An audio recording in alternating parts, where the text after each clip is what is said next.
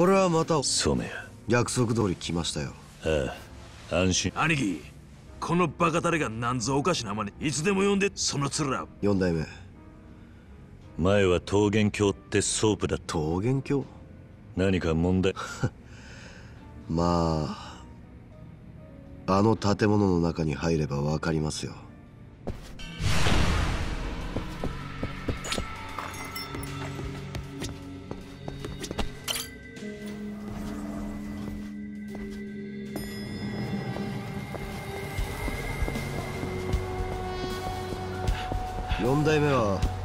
あの牢に何て言われてまた会うことになったんだよ。登場界の人間には関係ねえことだ。お前に余計なおしゃべりをするつもりはねそんなこと言わずに仲良くやりましょうや。行き先が桃源郷ってことなら牢も4代目を歓迎してるわけじゃないらしい。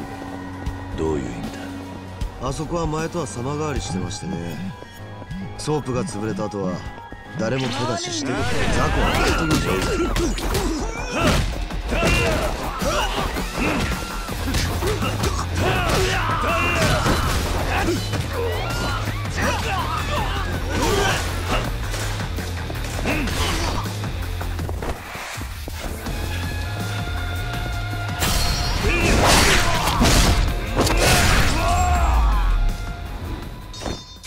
手間取らせやがって。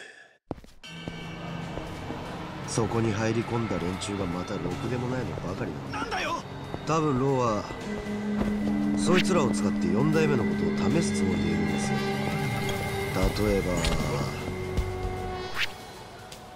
4代目が本当に手を組む価値がある男なのか見定める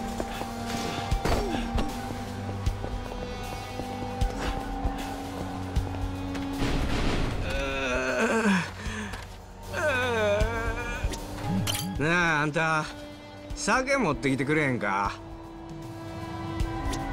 なあ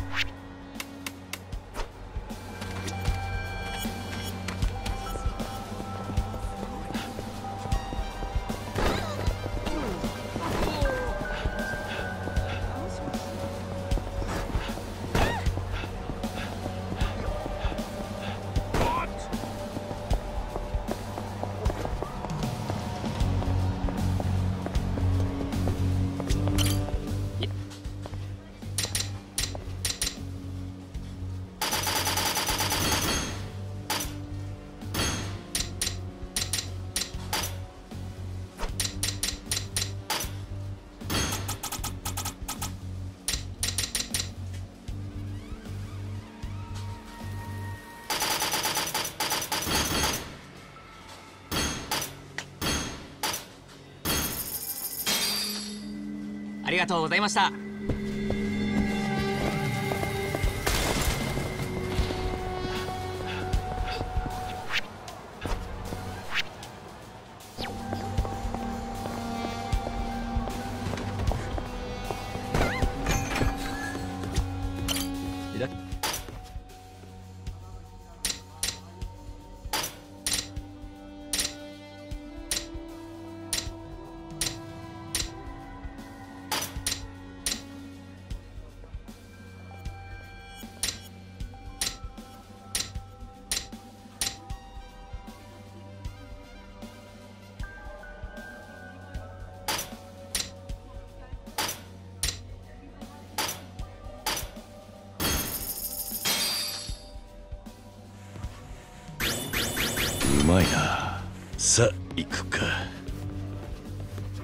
ありがとうございました。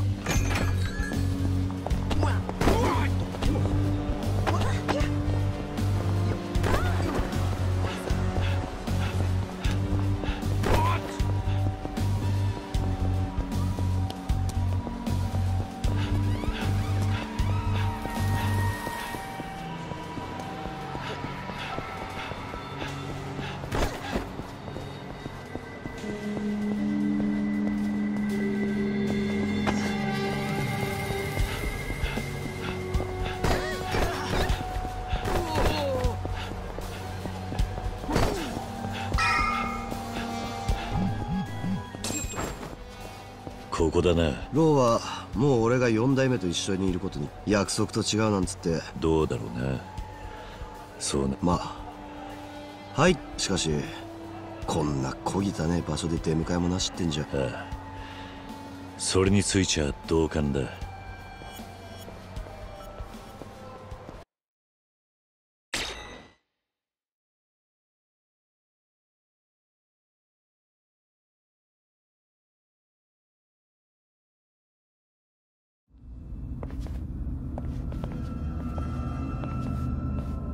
10年くらい前ですがセラ三代目が死んだ後登場界の跡目争いの構想がもちろんご存知で堂島の竜と島ダンプを突っ込ませたりめちゃくちゃここを廃墟にしちまったのここ以外にもこの町にはそういう場所に入り込んでるのが連中みてえな立ち若い女をさらってきちゃやりたい。ところが今は警察も登場でこんな町の友です。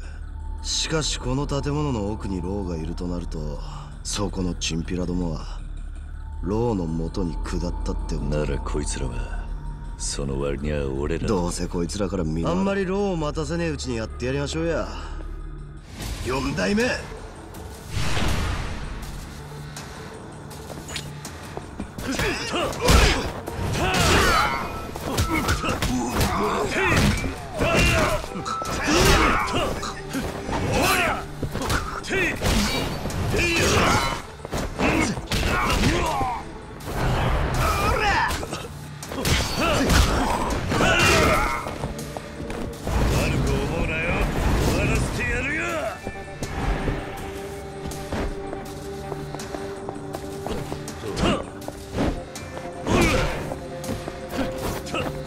通路があります。こいつをどかしたら先に進みそうです。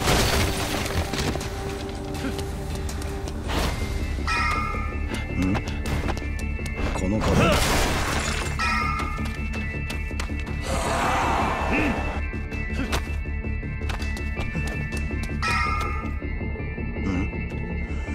4代目。ほっといて先に進みましょう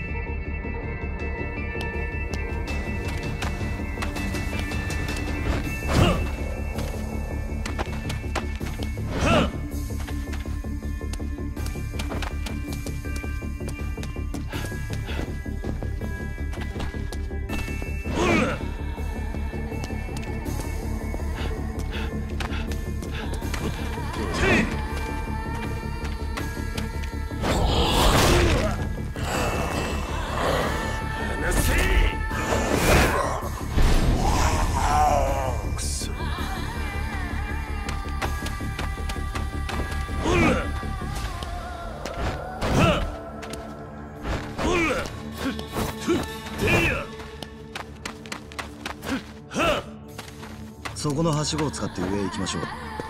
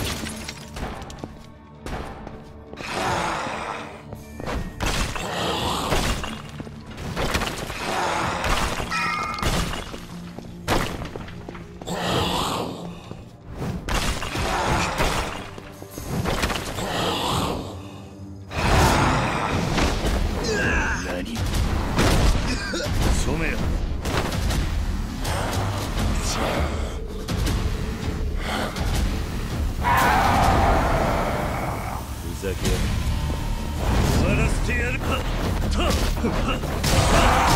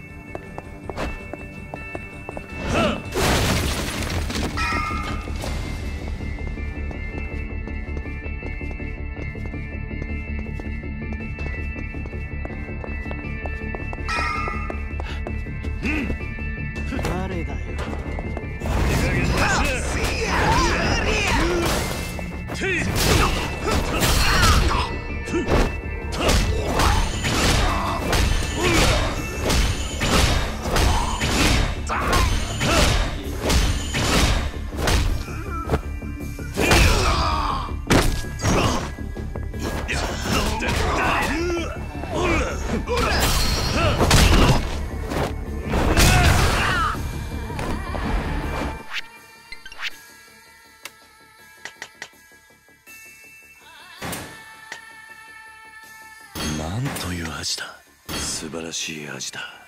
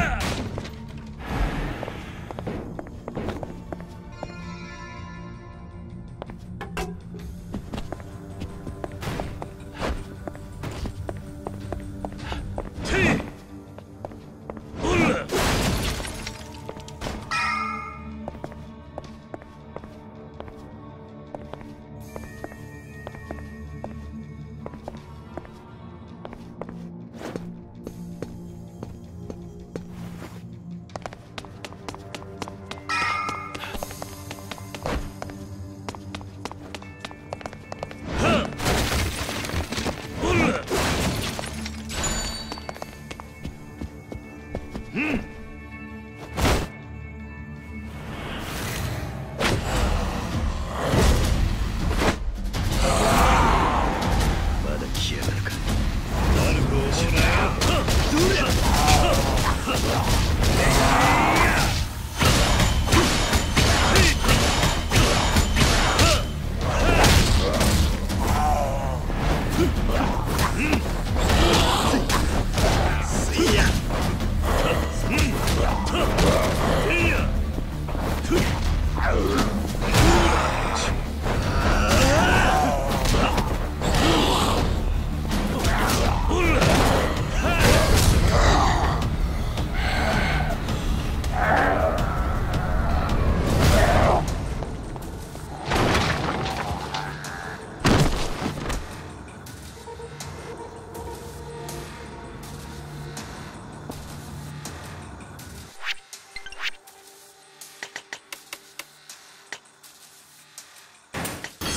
しい。素晴らしい。なんという味だ。いい味だ。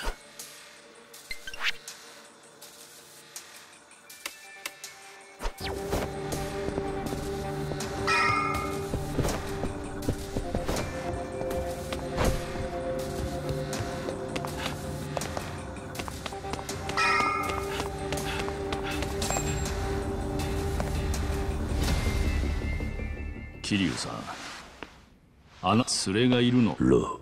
もっとも私は日本人の裏切りに。お久しぶりです。こんな場所にいらしてたんじゃいくらカムロ町には当時ここはそんな。るほど。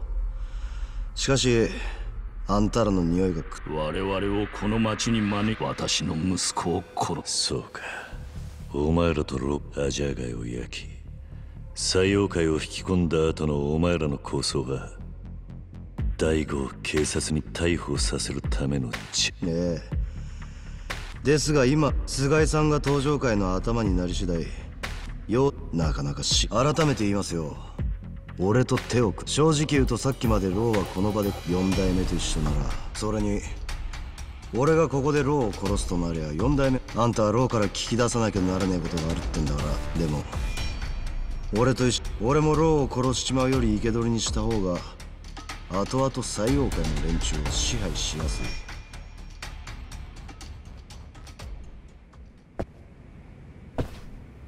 俺とお前で利害が一致していると言いてえわけか。ええ。違いますか？思ったより甘え野郎なんだな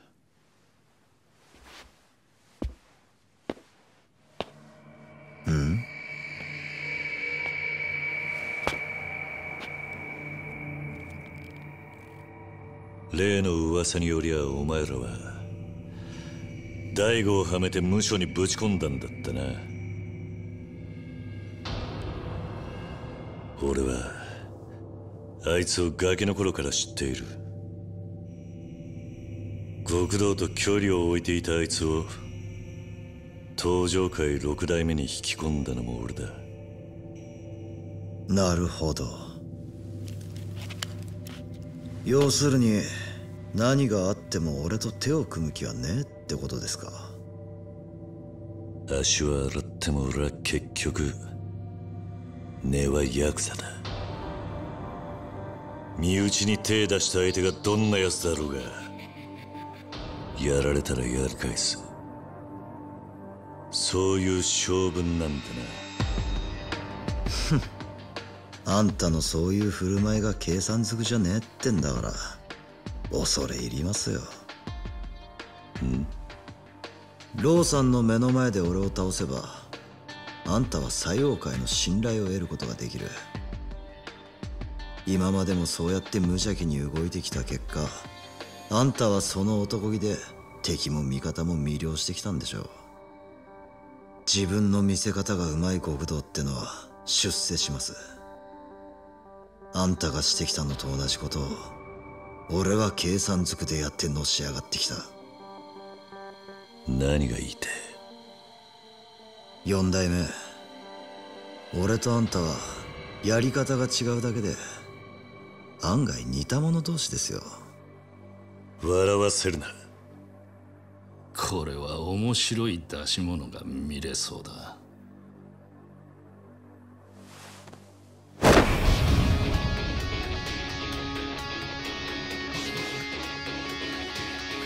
4代目がタイマン張ってくれるとなりゃこんな無粋なもんは使えませんね。今度は殺す気でやらせてもらいますよ。上等だ。来い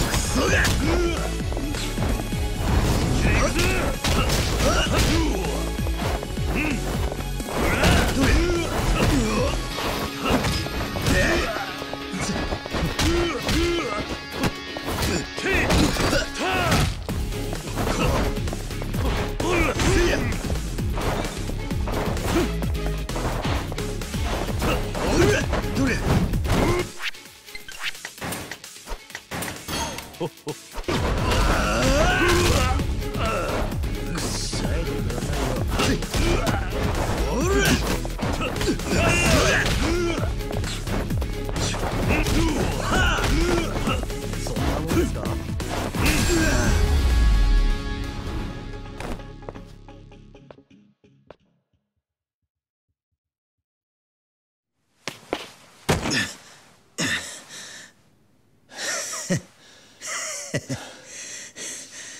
れが堂島の竜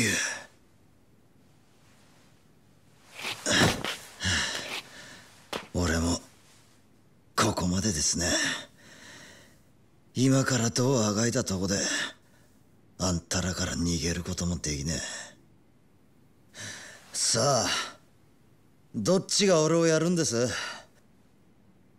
あんたかそれともローさんか。桐生さん私は息子を殺され言い訳をしない私の息子を殺したのは陽明連合会の黒幕い岩見クルス会長の息子があの男は登場会のあ我々をカムロ町に引き込みそして用が済むと私の命を狙いなんだと？この染谷も登場会の菅井もそのつまりこいつらは殺そんなこと言ってるとあんた自分を殺そうとする男を消しもたったそれだけの理由で殺しをしなきゃならん。私の命を狙う人間は星の数ほどこの場であんたを殺すことそれは登場界といううるさい蜂の他より少し大きいだけの蜂を一匹殺して私を狙うは俺が。そうだ。その上あんたは今仮だってそれはだがあんたを生かすことで。だがい息子の敵を取るためなら私桐生さん。あのいや私もあの男とのやりそもそもあなたをこんな場あいにくだが達川のことを聞か俺がこん達川はあいつがやった採用会への裏切りってのは何だ？残念だが達川の裏切りを詳しく話すことはできない。あなたが採用会に入って私に忠誠を誓うというなら話は別だがな。何だと？もっとも達川の死の真相をあなたが知る必要はない。なぜなら達川はあの赤ん坊の沢村春人の父親ではないからだ。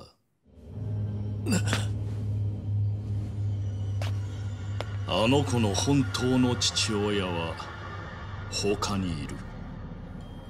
なんでだ？なんでお前にそんなことがわかる？まさかお前は遥かのことも知っているのか？私から今言えるのはカムロ町で構想している組織にとってあの赤ん坊が重要な価値を持っていること。そしてその価値を知る人間がますます増えているということだ。ハルトの価値ってのは何だ？あの子の父親は一体誰なんだ？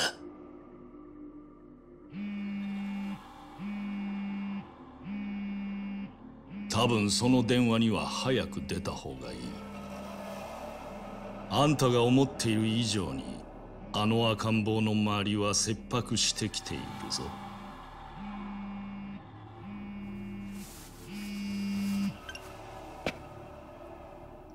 あ桐生の兄貴雄太です。広島でまずいことが。何があった？清美さんから連絡があったんです。うちのおやつさんが春人を連れて姿消したって。広瀬の親分がハルト？どういうことなんだ？俺にもわけわかんねえっす。もしもし？兄貴？聞いてますか？